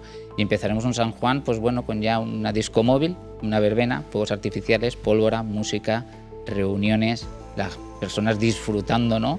en, en, el paseo marítimo, que es lo que queremos, y un San Pere que va a ser un poco más extenso que los anteriores, que el del 19 y el del 18. Hay que recuperarlo Hay que recuperar el tiempo perdido. Habrá pólvora, habrá música, habrá, tradición religiosa y habrá Bous al Carrer. Lo tendremos completísimo. Bueno, Bous al Carrer, una tradición sin duda alguna en el municipio eh, que le siguen pidiendo a sus vecinos. Por supuesto, por supuesto. ¿Cómo se vive esta parte? Bueno, pues allí somos de Bus al Carrer, en Canet somos de Bus al Carrer, y hemos sufrido mucho. De hecho, fuimos uno de los primeros municipios que reincorporamos los Bus al Carrer. Hicimos incluso formaciones dedicadas para los coordinadores cuando empezó el Bus al Carrer de COVID y demás. Nos, bueno, prestamos el auditorio y se, se dio la primera formación de la comunidad valenciana y nosotros sí que lo vivimos, lo disfrutamos con respeto hacia, hacia el bus a carrer, por supuesto, y siempre en este caso desde ese punto sano, ¿no? Porque al final todo esto, pues a veces hay mucho, mucho polémica, sí, polémica extrema, pero en este caso no, en este caso es tradición sana, salir, hablar con los amigos, ir a tomarte algo. Todo lleva al bus a carrer, es un paquete, no es solo ver el animal como pasa por la calle, es el ambiente. Es el ambiente. ¿Habrán más días de bus al carrer este año entonces? Sí, Esta es la novedad. cinco días, por lo menos cinco o seis, ya veremos. Sí, sí. De normal eran dos en San Pere, pues este año haremos cinco, montaremos carafales como en septiembre, será, será más bonito. Una tradición que, bueno, se vive desde hace muchos años en Canet y que además es un punto, una cita importante de, la comarca. Mm. Es una cita importante porque tenemos dos fiestas bueno, muy importantes para nosotros, que es San Pere y la Virgen. Una es en junio, como es, el pistoletazo de salida, ¿no? inicio del verano, y las otras son en septiembre, que es como cerramos ¿no? la etapa estival, y las dos están enlazadas y encajadas dentro de ese contexto religioso, en el patrón y la patrona, pero con la tradición, la pólvora, la música y es al carrer pues importante estas celebraciones y fiestas en Canet de Berenguer, un municipio para vivir todo el año. ¿Este es el objetivo también, desestacionalizar la localidad, alcalde? Pues sí, es, el objetivo porque nosotros en nuestra campaña turística hablamos de Canet Conecta, Canet 365 días, que también hemos usado ese lema en, otras épocas, bueno, en otros años, y es complejo, complejo porque cuando la gente lo percibe y está, se da cuenta de que Canet es muy bonito, no solo tiene que ser para la época estival. Nosotros luchamos ¿no? o trabajamos para que esto se vaya desestacionalizando y ¿cómo lo hacemos? Pues intentando generar iniciativas que, que se queden consolidadas en el tiempo, triatlones, eh, eh, bueno, en este, en este caso son actuaciones deportivas, triatlones, eh, también hacemos regatas, también hacemos travesías. Bueno, intentamos concentrar, este fin de semana tenemos el campeonato de vóley, playa, sábado y domingo, arrancar el verano un poquito antes y terminarlo un poquito después, ¿no? Empezar a estirarlo para que la gente pueda venir a Canet cuanto más tiempo mejor, Y, que lo disfrute. Y que no solamente playa, porque también podemos disfrutar de patrimonio, la tranquilidad, eh, eh, en definitiva calidad de vida para el ciudadano. El que venga a Canet se dará cuenta de que podrá tener playa y montaña en un espacio de tiempo de 10-15 minutos. Tenemos una comarca, el Can de Morvedre, que es brutal. Puedes tener un día únicamente de cultura histórica, Sagunto, las juderías, puedes ir a la Font de Cuart, la Torre, puedes tener un día de naturaleza, tenemos la Calderona, senderismo, bicicleta de montaña, lo que desees, porque es que hay de todo. O puedes quedarte en la playa y disfrutar de este maravilloso Mediterráneo y del sol, ¿no? Tienes variedad y en muy poco espacio lo tienes todo, que es lo que ofrecemos, ¿no? Es esa posibilidad. Las expectativas son buenas para este verano, alcalde. Después de lo vivido, después de esta vuelta a la normalidad, ¿tienen el dato ya? Sí, para que nos hagamos una idea, estoy hablando con los hoteleros este fin de semana por un tema de ubicación de personal, porque también tenemos algún residente de Ucrania, y llamaba para ver si había espacio y me decía, no, lo tengo completo, lo tengo este fin de semana completo, el que viene lo tengo completo, o sea, ya empezamos la, la época estival, la pre-época estival, y ya están a tope, ya tienen el 100% de ocupación que eso es mucho. Es fin de semana, sí que es cierto que no es toda la semana, que solo es el fin de semana, pero ya indica que, Canet está de moda y que Canet, bueno, es un atractivo turístico muy importante. Bueno, pues Canet está de moda, es la frase con la que vamos a cerrar esta entrevista. Todo un lujo que haya estado con nosotros. Muchas gracias. A alcalde de Canet y visitaremos pronto esas playas y sobre todo a ver si podemos estar en la fiesta de San Juan para mostrarles a los telespectadores luego la fiesta tan importante que llevan a cabo. Muchas gracias a vosotros y ahí os espero. Venga, buenas tardes una playa, Manu Seguín, que vamos a recomendar hoy en Valencia en abierto. Pues sí, Silvia, porque hasta Canet nos queremos ir este fin de semana y es que 1.250 metros de costa y 80 metros de ancho componen la playa Canet de Berenguere y allí se encuentra Racó de Mar, una de las playas más espectaculares de la comunidad valenciana. Raco de Mar cuenta con todos los alicientes que una playa necesita.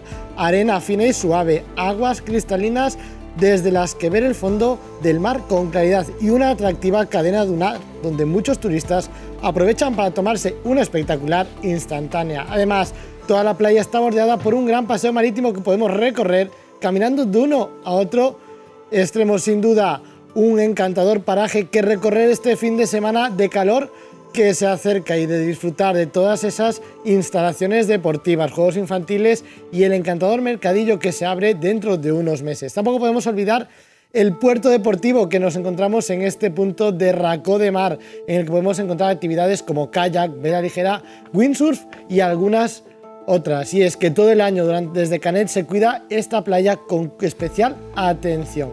Muestreos de agua y sobre todo una gran limpieza de la arena hace que Raco de Mar se sitúe entre las 40 mejores playas de toda España. Así que este fin de semana, excursión a Canet de Berenguer, excursión a la playa de Raco de Mar.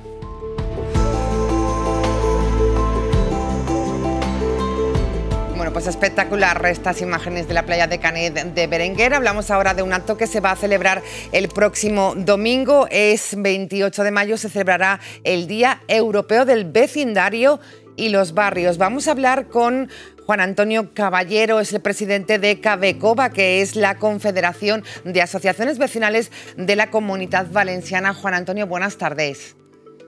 Hola, buenas tardes. Gracias por estar eh, con nosotros. Bueno, cuéntenos cómo se presenta esta jornada. Es el Día Europeo del Vecindario. Pues eh, en primer lugar lo que queríamos era que no pasara desapercibida. Eh, el Consejo de Europa en su momento pues aprobó el último fin de semana de mayo como un día para reconocer eh, el papel del vecino en, los, eh, las ciudades y demás. Nosotros hemos extendido la idea, nos parecía mucho más inclusivo hablar del vecindario y de hablar también de, de los barrios. Y entonces, bueno, lo que hemos preparado es un acto sencillo en el que pretendemos mostrar también la capacidad que tienen los barrios pues, para hacer cosas. Por ejemplo, eh, en este acto que vamos a hacer en el Plaza del Ayuntamiento el día 28, a partir de las 11, pues va, va a actuar eh, una Big Band, la Beni Jazz, que ha crecido en uno de los barrios de Valencia, en Benicalap concretamente, a partir de su agrupación musical. Y, y, bueno, nuestro barrio, el barrio de Benicalap, por ejemplo, es un barrio que tiene eh, cuatro agrupaciones musicales y una agrupación coral. Eh, esos son cientos de personas haciendo cosas en el barrio, cientos eh, de personas, porque cada, cada una de estas agrupaciones musicales pues tiene muchas, muchas derivadas. Derivadas, está claro. Juan Antonio decía que era importante resaltar los vecinos, los barrios. Yo creo que hay un antes y un después en esta figura después de la pandemia del confinamiento que vivimos? Eh, yo creo que sí, yo creo que en, los barrios eh, se ve si, si, existe cohesión social o no, se ve si hay solidaridad, si hay eh, apoyos mutuos, si hay redes de entidades sociales que actúan de forma coordinada. El potencial de los barrios es tremendo y pensamos que es un buen día institucionalizar eh, un cierto homenaje a los barrios, al comercio de proximidad, a una forma de vivir en la que eh, parece que se está poniendo de moda ahora esto de eh, a los 15 minutos tenerlo todo, ¿no? Andando. Bueno, pues eso es un barrio, ¿no? Entonces, eso es lo que queremos. Bueno, pues... Y creemos que, que la ciudadanía en general y en particular la gente que vivimos en los barrios pues necesitamos cauces de participación que, que hagan que, tenga sentido el estar uno apuntado a la asociación vecinal o apuntado al AMPA o apuntado a, cualquier otra entidad que haya en el barrio y que estas entidades de carácter civil pues puedan eh, ser cauces de participación, participación. para pues, resolver muchos, muchos problemas pequeños y grandes que se producen en los barrios. Bueno, pues Juan Antonio Caballero, presidente de Cabeco, va todo un lujo que haya nos haya contado en directo este acto a las 11 estamos invitados en la Plaza del Ayuntamiento para asistir a este concierto, para dar eh, y reconocer, poner en valor a los vecinos y a los barrios y el papel que desempeñan. Gracias, Juan Antonio, buenas tardes. Gracias a vosotros, buenas tardes. Nos vamos a publicidad, nos tomamos un pequeño respiro y a la vuelta volvemos. Vamos a descubrir una empresa de energías que está teniendo una trayectoria importante. Hoy la conocemos de cerca en Siete Televalencia. Será después de la pausa publicitaria hasta ahora mismo.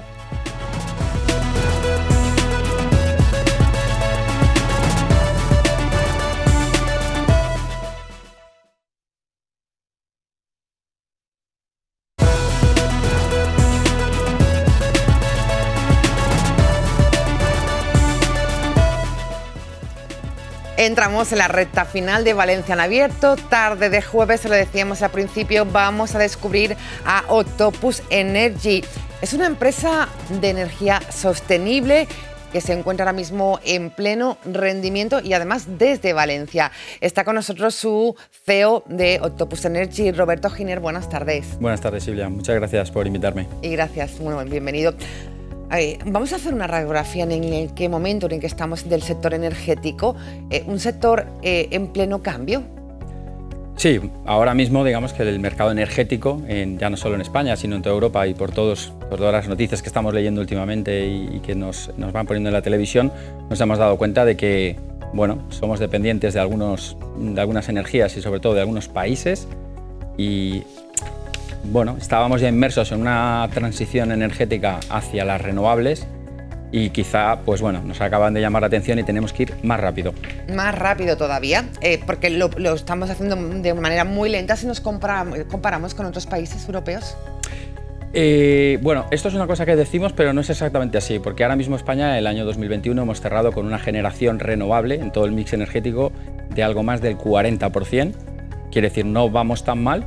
Lo que pasa es que los objetivos que nos ponemos a veces son muy, muy grandes y hay que invertir mucho dinero y bueno, hacer muchos proyectos para que al final son las empresas y las administraciones públicas las que nos tenemos que poner, estar mejor alineados bueno, ir de la mano para superar este momento de crisis energética porque la hay.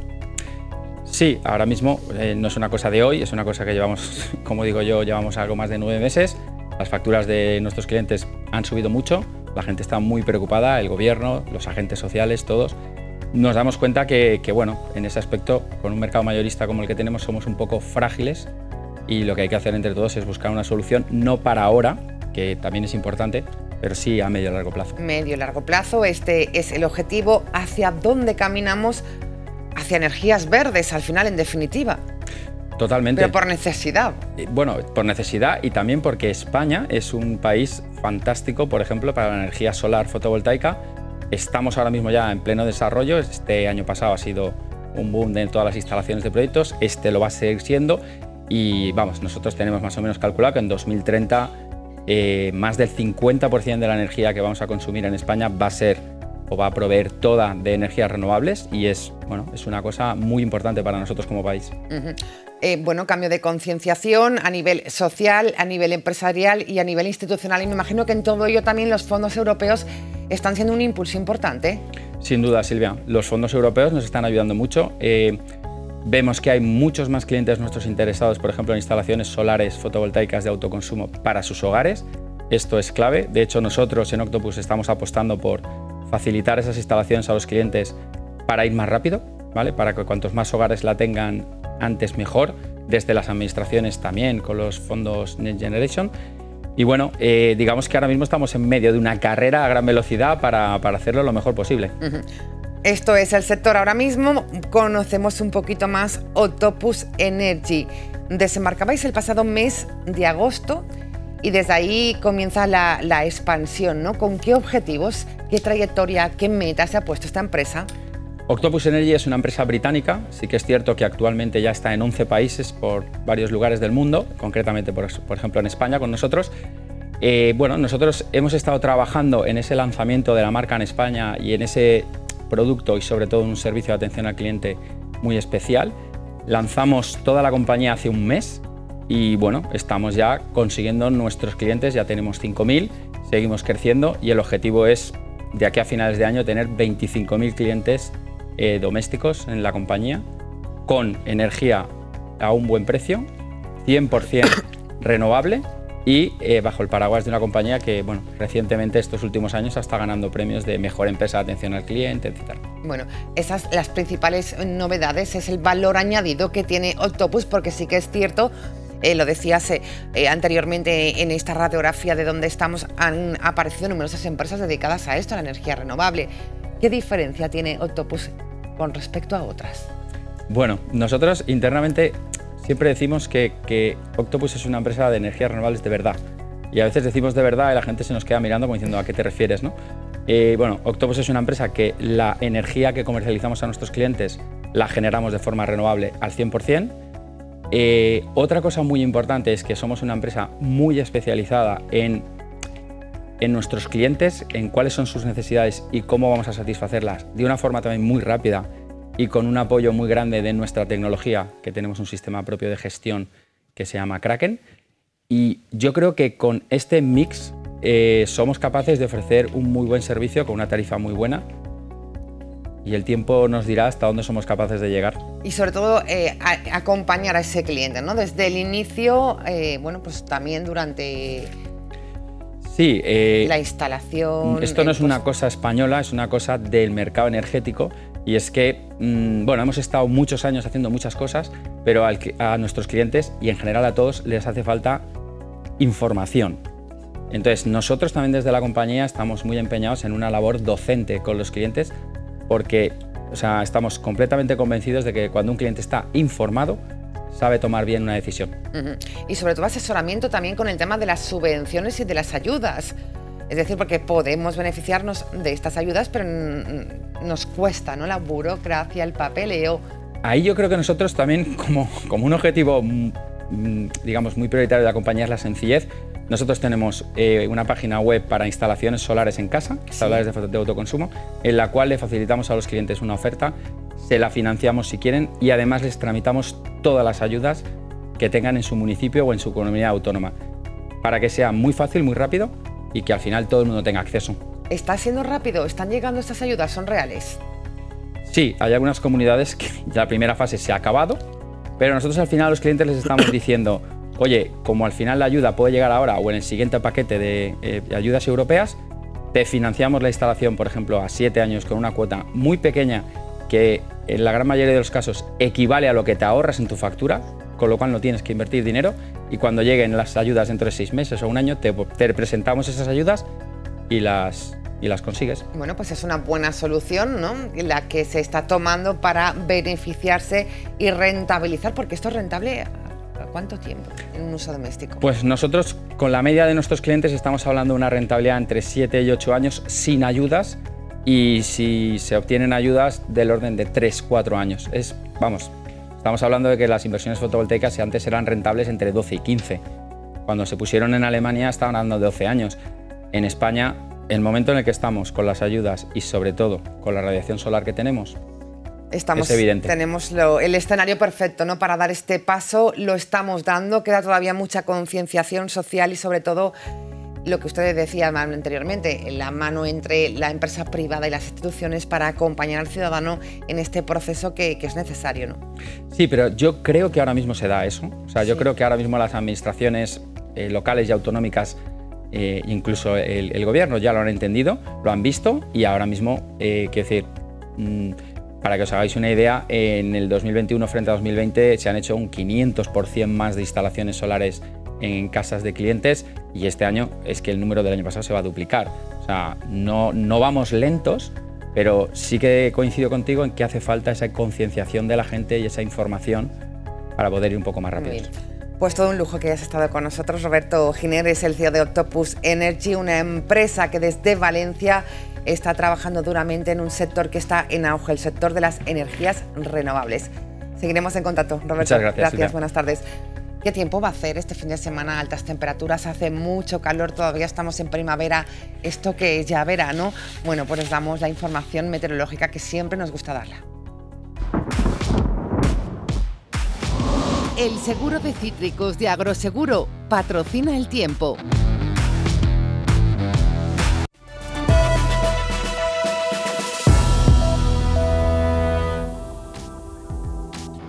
Vuelve el calor, lo habrán notado las temperaturas hoy han vuelto a subir con respecto a los dos últimos días y es que tras un fin de semana muy caluroso habían bajado los termómetros en el inicio de la semana, pero hoy de nuevo, tal y como indicaban las previsiones, las temperaturas superan los 25 grados en la capital del Turia. Así lo harán a lo largo de todo el fin de semana, aunque de nuevo no podemos perder de vista el cielo, sobre todo en las zonas del interior, porque de cara al final de la semana pueden darse tormentas. Y lo vemos ya en los mapas del tiempo. Hoy cielos despejados en toda la comunidad valenciana, máximas de hasta 26 grados en puntos como Castellón y mínimas que superan los 10 grados en casi todos los puntos por debajo.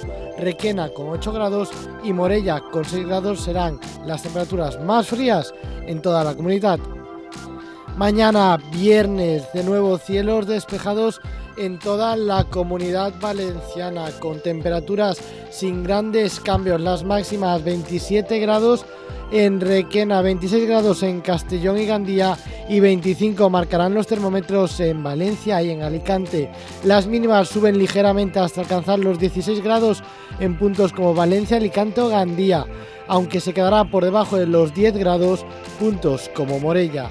De nuevo cielos despejados y calor que se intensifica en las horas centrales del día. De cara al fin de semana, cielos de nuevo despejados en toda la comunidad valenciana, aunque pueden aparecer ya algunas tormentas en las zonas del interior de Castellón el sábado. Temperaturas que alcanzarán ya los 30 grados en las principales capitales, aunque se quedarán en los 28 en Alicante. Las mínimas suben hasta marcar 18 grados en la ciudad de Valencia. El domingo temperaturas de nuevo muy elevadas en toda la comunidad valenciana y tormentas en el interior que podían continuar a lo largo de la jornada del lunes con temperaturas de nuevo que alcanzarán casi los 30 grados en buena parte de la comunidad.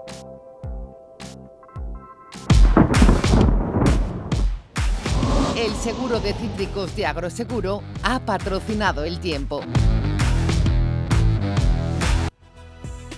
Y ahora que ya conocemos cómo se avecina este próximo fin de semana y qué temperaturas habrán, nos toca conocer qué podemos hacer porque además de esa, de esa escapada hasta Canet de Berenguer, son muchas las actividades que podemos disfrutar también en Valencia, en la ciudad y muy cerquita. Así que vamos a conocer esos cinco planes indispensables para este fin de semana en la ciudad de Valencia.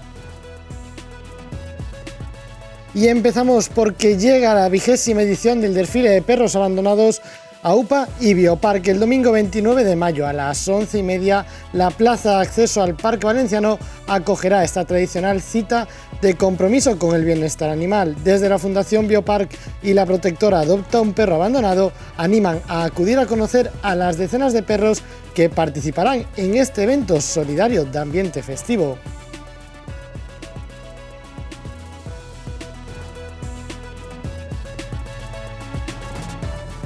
Y Valencia se vuelve a ser la capital de la música dance y electrónica y es que volvemos a los 90. El festival Love the 90s llega a la ciudad y llega este fin de semana, lo hace a la ciudad de las artes y las ciencias, el sábado 29 de mayo. Entre los artistas destacan DJ Sash, Jenny from the Ace of the Base, Tecno Basic, Jerry Delay, OBK, Corona o Chimo Bayo, entre otros muchos que se darán cita este sábado 29 de mayo en la ciudad de las artes y las ciencias para hacernos vibrar de nuevo con esa música que marcó toda una década, la de los 90.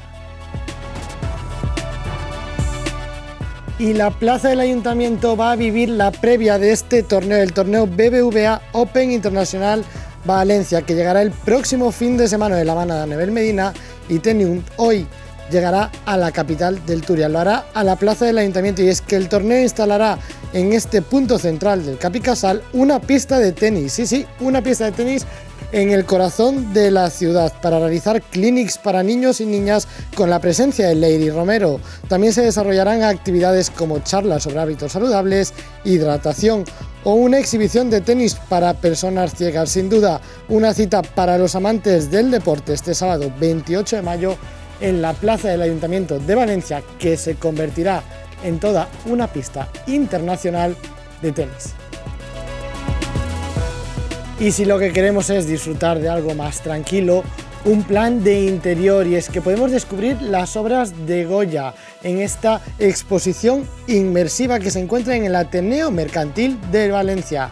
Hasta el 12 de junio la representación de todas estas obras a gran tamaño nos permitirán descubrir detalles que hasta ahora desconocíamos del autor y es que esta exhibición se puede disfrutar, se puede tocar y nos podemos meter dentro de ella, vivir en los cuadros de Goya. Hay una experiencia inmersiva en Goya que podemos disfrutar en el Ateneo Mercantil de Valencia hasta el 12 de junio de 11 de la mañana a 9 de la noche también en fin de semana.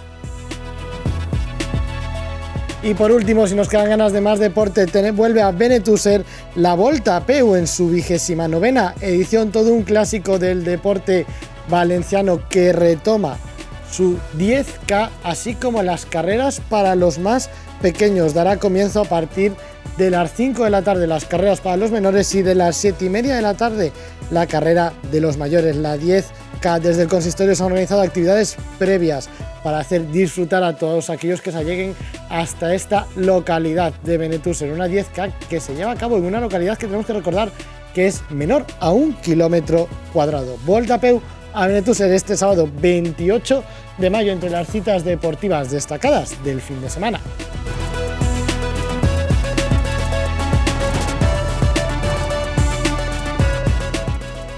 Y el fin de semana es también momento de música y es momento de disfrutar. Y las vemos en esos conciertos de gran formato, pero también otros que llegan a las salas de la ciudad de Valencia, a las salas en un ambiente más recorrido y que nos permite disfrutar de esa música de cerca.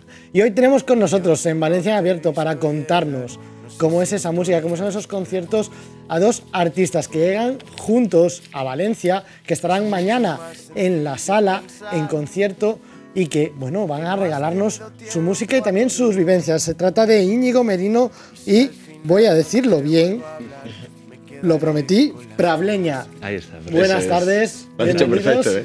¿Lo hemos hecho bien? Sí, sí, espectacular. Bueno, Íñigo Merino, Pravleña llegan a Valencia mañana en la sala. ¿Qué vamos a encontrarnos ahí? Bueno, pues nos vamos a encontrar pues eh, un concierto de dos amigos que se han unido para salir de Madrid por primera vez a, a enseñar nuestra música eh, pues fuera de Madrid y, y en toda España. Y aunque sean dos proyectos diferentes, pues hemos querido unirnos para salir fuera y, y, pues va a ser un concierto mm, más, más que nada es una fiesta de la música y es la primera vez que vamos a tocar con banda aquí, o sea que estamos encantados de, de que llegue este momento. Porque vamos a hacer una pequeña introducción primero quiénes son ellos. Íñigo Merino, Pravleña, son dos artistas por separado, dos carreras por separado que se funden Eso en es. esta gira y que nacen las dos casi casi del confinamiento. Íñigo, cuéntanos un poco cómo ha sido ese momento en el que te decides pues a empezar a subir vídeos a las redes y a hacer pues viral tu música. Lo hablábamos antes, que al final los dos hemos salido de ese momento en el que no sabes muy bien qué hacer y estás un poco en tu casa mm, viéndolas venir, como se dice en mi tierra. Y, mm, y nada, y al final pues eh, la vida te lleva por unos caminos que no puedes, no puedes rechazar. Y así hemos acabado, los dos haciendo lo que más nos gusta, que es música, y compartiendo co- con, amigos lo que amamos. Íñigo Merino viene desde Badajoz, se dio a conocer en las redes sociales en este momento, hasta un dato que quiero que me corrobores, a ver si es cierto o no. Te escribe Dani Martín. Ujú. Sí, un día estoy en mi casa, me acuerdo, en el salón de mi casa con mi padre, y de pronto miro así el móvil y digo, me ha escrito Dan- Dani Martín, pero no puede ser, no puede ser él. Y efectivamente era él.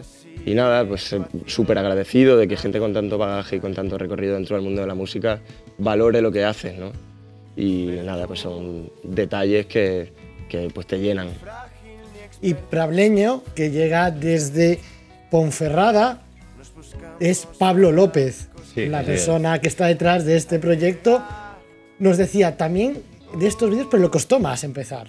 Sí, o sea, yo nunca había subido vídeos a las redes y como consecuencia de la, de la pandemia, pues mm, ya estaba aburrido de hacer siempre lo mismo y con, con uno de mis mejores amigos decidimos subir una cover. Mm, gustó mucho a mis amigos, subí otra y le gustó a los amigos, a los amigos de mis amigos. Y fue cuando me planteé pues, empezar a, escribir mis propias canciones y desde ese momento pues eh, no, no ha parado de subir la cosa y, y ha sido, eso fue en junio de 2020 y pues ya te digo, llevamos casi dos años de subida y, y ha sido los dos mejores años de mi vida sin lugar a duda. Los dos inspiraciones de pop español, de ese pop rock que tanto reconocemos. Un primer disco que ya habéis sacado, esos primeros singles. ¿Cómo está siendo la acogida de estos primeros trabajos? La verdad es que bastante bien, estamos súper súper sorprendidos. O sea, al final es un proyecto que se inicia desde cero, los dos, y, y que tanta gente joder, te escriba, te dé la enhorabuena, te dice me encanta tu música, vienen a los conciertos, eh, lo disfrutan, cantan las canciones. Pues, te puedes imaginar cómo es, ¿no? Y en tu caso, Pablo, también un poco similar, ¿no? Este Sí, o sea, yo creo que lo más, lo más sorprendente para los dos fue los dos primeros conciertos en solitario que dimos los dos en Madrid. Eh, los dos llenamos pues, salas de 600, 700 personas y ahí fue, fue cuando pues, mm, te das cuenta de que, pues, de que había mucha gente esperando ese momento, de que nos subiéramos a un escenario y la verdad es que es una sensación increíble que, que tanta gente se, se aprenda tus canciones y que, que disfrute con, con lo que tú haces.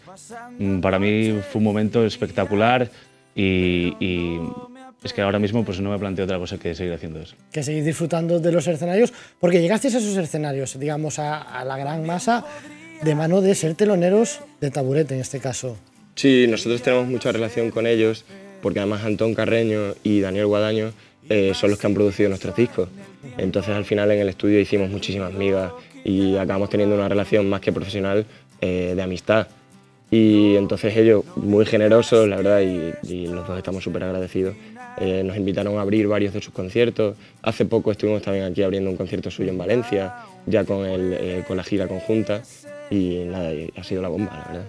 Y ahora llega el verano, seguir girando por el sur, seguir girando por el norte, y nos contabais una noticia que, que casi adelantamos en exclusiva, que nos la chivaban hace unos minutos, y es, o sea, tendremos nuevo single antes de verano, de los dos. Eso es. Sí, así es. eh, cada uno por separado, mm, como los dos proyectos separados que son, y pues yo creo que a finales de junio sacaremos eh, cada uno un single nuevo y ya después de eso, pues yo creo que hasta que ruede todo el verano y iremos al sur, iremos al norte, iremos, haremos chiringuitos, conciertos más acústicos, pero después de verano pues ya nos encerraremos para, pues para grabar el segundo, el segundo álbum. Y ahora, con todo esto que estáis viviendo, ¿dónde ponéis la meta? ¿Dónde decís, hasta aquí sería el sueño cumplido? A mí me gusta marcarlo por el número de entradas, o sea, por salas que vamos llenando, ¿sabes? Yo creo que la siguiente, si llenamos una BAT, fenomenal en Madrid. Sí, más de lo mismo. O sea, eh, al final Madrid pues es como nuestro punto de referencia y donde hemos crecido más.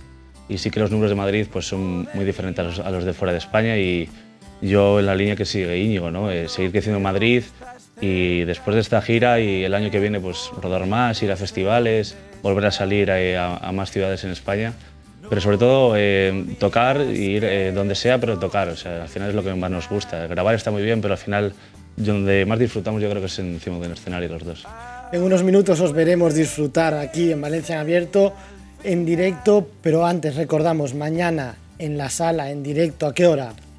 Pues, ¿A qué hora empezamos? ¿Sobre las 9 o así? Sí, abrimos creo que ahora de puertas como las 8 y cuarto, así, y toca un chico que se llama Pablo Rubio, que es de aquí, que hemos querido pues, que abra el concierto.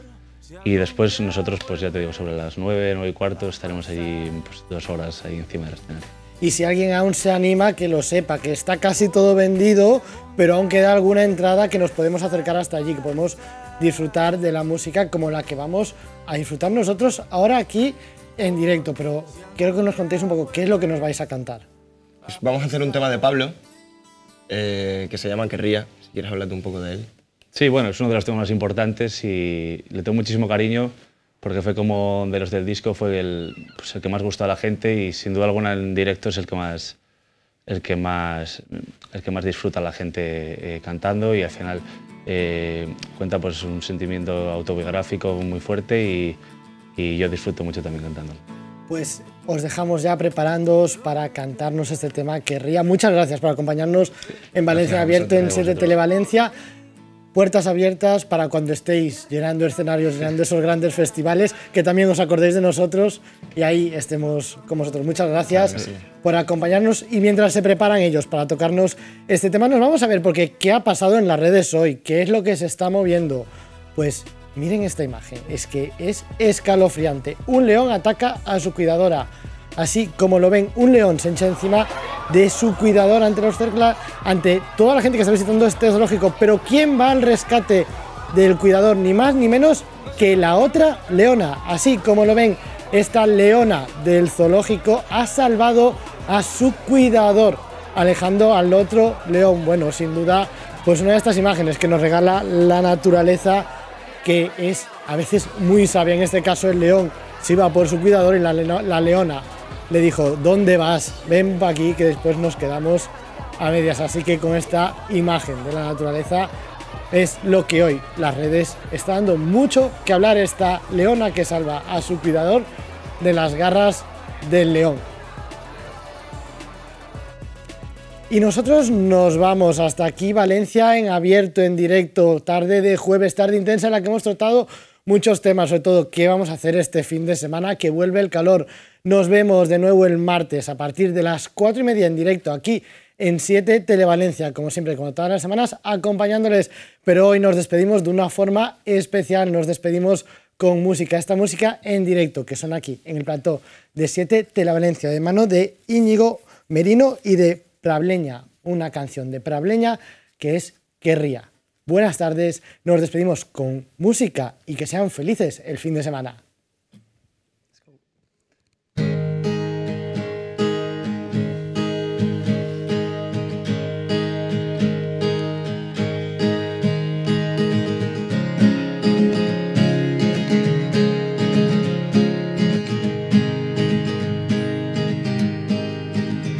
Querría es verte caminando por ahí, hacer que no te he visto y arrancar un beso cuando te vayas ahí.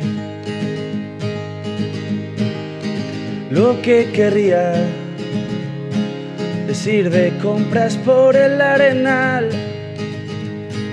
oler cuatro perfumes en tu piel, aunque ya sé cuál te vas a llevar.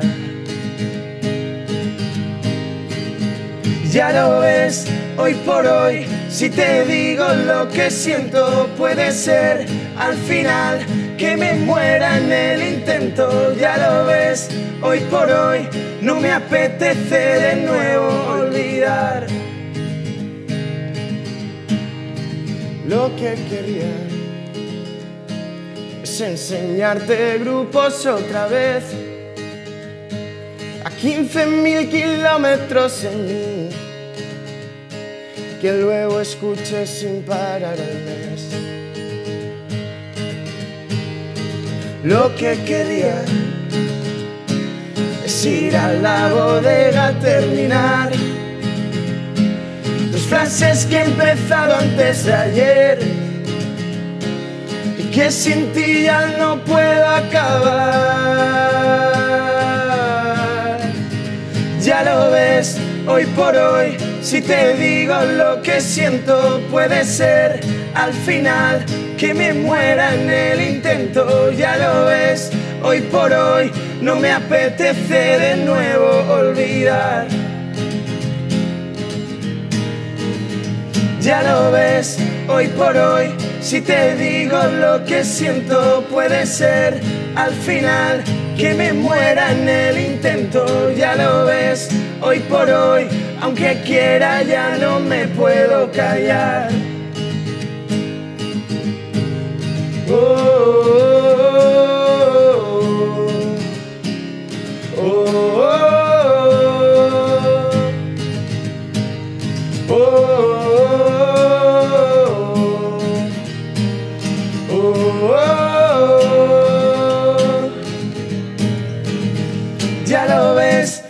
por hoy, si te digo lo que siento, puede ser al final que me muera en el intento. Ya lo ves, hoy por hoy, no me apetece de nuevo olvidar. Ya lo ves, hoy por hoy, si te digo lo que siento, puede ser al final que me muera.